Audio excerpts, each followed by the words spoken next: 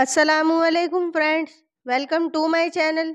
आज मैं आपके साथ में बीफ पाए की रेसिपी शेयर कर रही हूँ। सर्दियों में ये खाने में बहुत अच्छे और टेस्टी लगते हैं। इसलिए आप इस रेसिपी को बनाइए अपने घर में और मुझे अपनी फीडबैक देना ना भूलिएगा।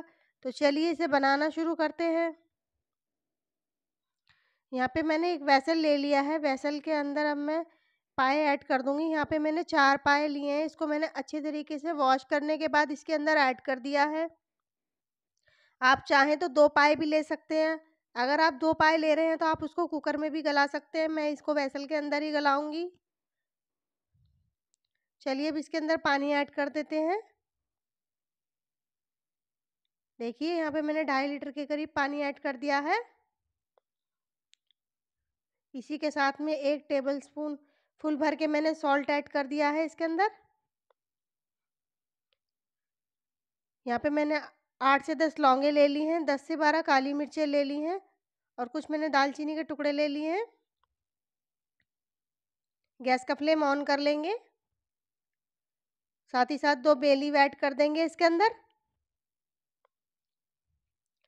अब इसे हाई फ्लेम पे पकने देंगे। ये देखिए हाई फ्लेम पे इसके अंदर स्टीम बनने लगी है। तो अब मैं इसके अंदर हाफ़ टी स्पून हल्दी ऐड कर दूँगी। इसको ऐड करने से एक तो इसके अंदर कलर बहुत अच्छा आएगा और दूसरा इसके अंदर जो कोई स्मेल जो होती है इसकी, वो नहीं आएगी आपको। आप चाहें तो थोड़ा सा जिंजर और गार्लिक का पेस्ट भी इसके अंदर ऐड कर सकते हैं। इसको मिक्स कर लेंगे अच्छे तरीके से।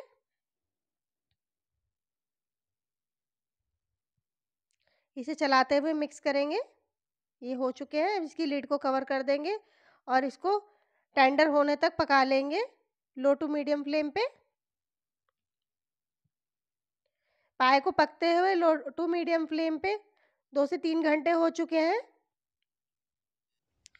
चलिए अब इसे अच्छे तरीके से मिक्स कर लेंगे।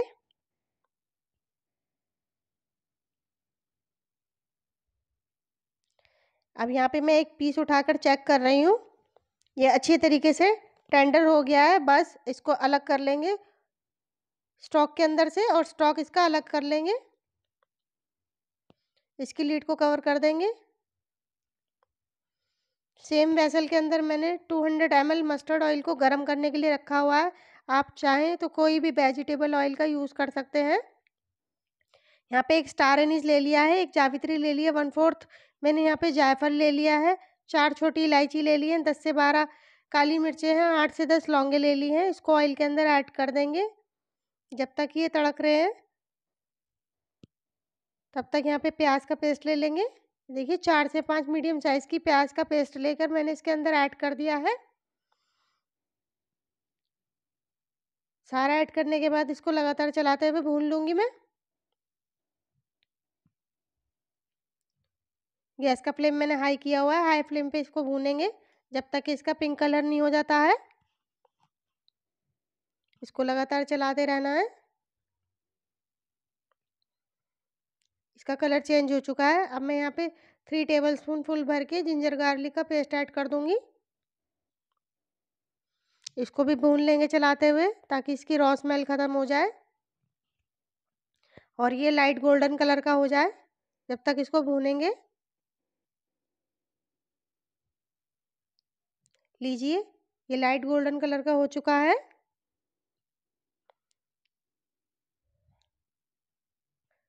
यहाँ पे हाफ़ टी स्पून मैंने हल्दी पाउडर ले लिया है।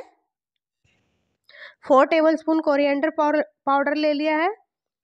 टू टेबल स्पून मैंने रेड चिली पाउडर ले लिया है। वन टेबल स्पून मैंने सॉल्ट ले लिया है।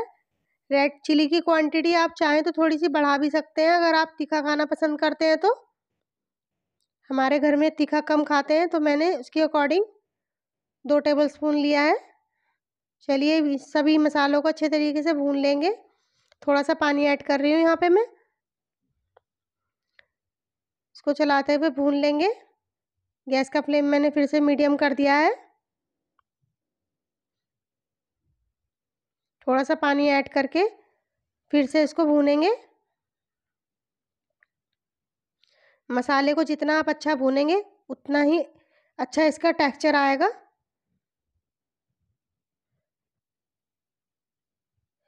यहाँ पे मैं एक कप दही ऐड कर रही हूँ फुल भर के। इसको भी चलाते हुए भूनेंगे।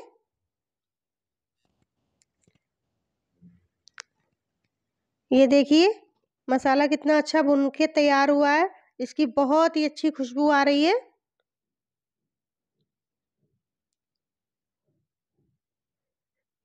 मसाले को भूनते हुए चार से पाँच मिनट और हो चुके हैं। ये देखिए, कितना दानेदार मसाला भुना है। बस इतना ही मुझे इसको रखना था। यहाँ पे मैं पाए ऐड कर रही हूँ, जो मैंने स्टॉक से अलग कर लिए थे। इसको मिक्स कर लेंगे अच्छी तरीके से, ताकि मसाला अच्छी तरीके से इन पर कोट हो जाए। एक से दो मिनट के लिए इसको मिक्स कर लेंगे। चलाते हुए। चलिए, ये हो चुके हैं मिक्स इसके अंदर स्टॉक ऐड कर लेंगे।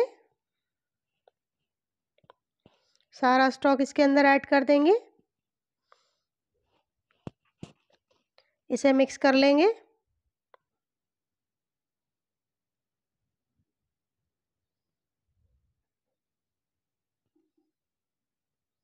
मुझे यहाँ पे पानी कम लग रहा था तो मैंने 500 हंड्रेड पानी और ऐड कर दिया है इसके अंदर। इसको मिक्स कर लें फिर से। आप चाहें तो स्टेज पे नमक चेक कर सकते हैं।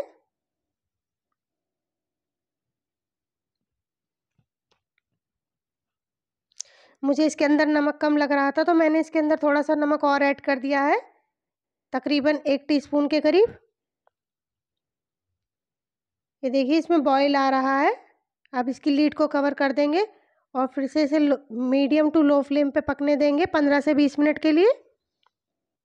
पाए को पकते हुए पंद्रह से बीस मिनट हो चुके हैं। इसको फिर से एक बार ही मिक्स कर लेंगे।